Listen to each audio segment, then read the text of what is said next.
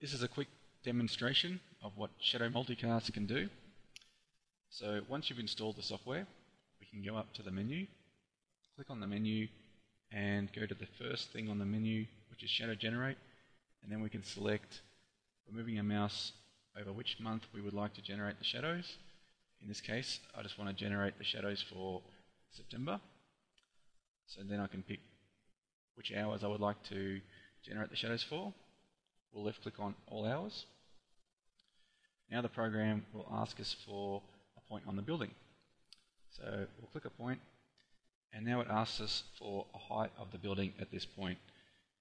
We'll type in 3000 which is 3000 millimeters which is equivalent to 3 meters and then we can click enter. And As you can see it's generated a whole bunch of lines. Each one, one of those lines represents a different hour for September. So if we click on one and we look at the top of our layers, we can see that we're on 7 a.m.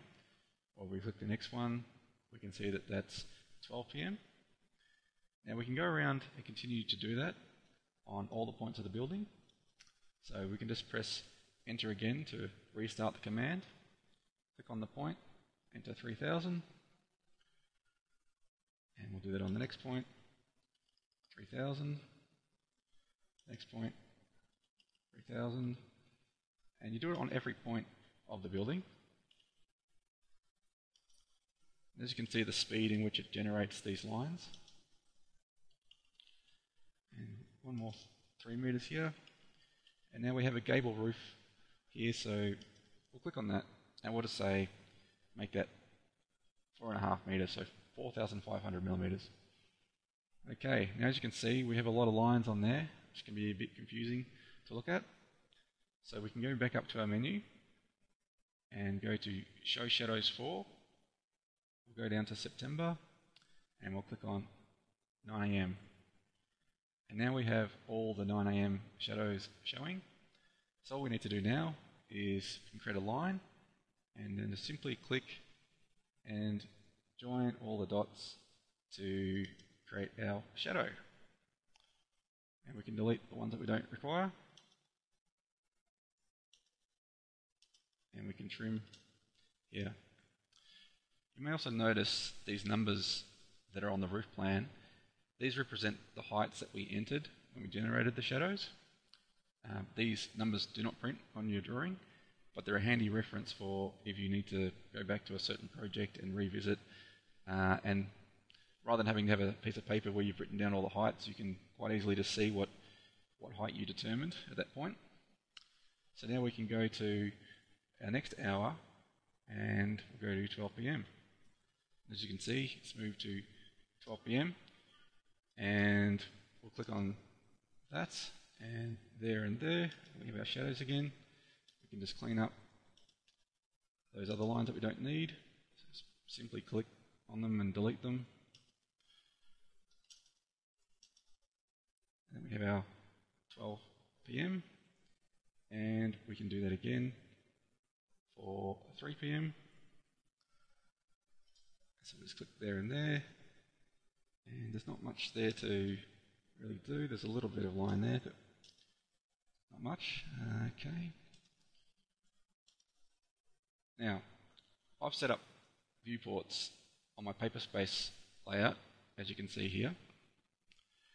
Now, I've got 9am shadows, 12pm shadows, and 3pm shadows.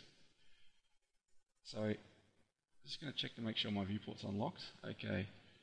First thing we want to do is turn on all the shadows. So we'll go back to our menu, go to show shadows for September, and we'll click down the bottom here, show all September. So we've got a big mess of lines there again. So now we double click in one of our viewports. We can go up to our menu again.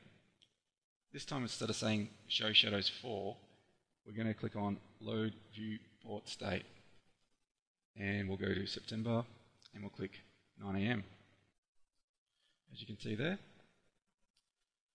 And we can do the same in the next viewport.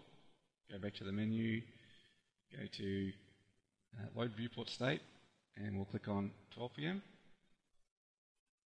Okay. And we can do the same thing on our last viewport. Click in it, go down to load viewport state, September, and click on 3 p.m. And there we go. We have all the different layer states set for the different hours. If we went back to model space, we'd see that all the lines are still on, but just that we've set them up in paper space so that they're yep, just, just different hours for each viewport that we would like. Uh, this is a basic sort of introduction to what Shadow Multi Cast can do. There are other tools available um, to help you with generating shadows um, as well as setting the appropriate north point. Um, also on the menu you'll see that there are layer defaults where you can change the layer colors and names to suit your office standards. So if we just select the on layer colors September layers at the bottom of the screen in the command prompt it'll now ask us for a new color. The colors are any number between 1 to 255 uh, or you can type in a name of the standard colors in AutoCAD such as red, white, green, blue, cyan, yellow. Um, in this case we'll just type in red and as you can see all the layers have changed to suit that color. Um, I recommend that you download the demo version of the software and try it out for yourself. I'm sure you'll be very impressed with the speed and accuracy at which it generates shadows. And if I can be of any help to you, um, please send me an email. Thank you.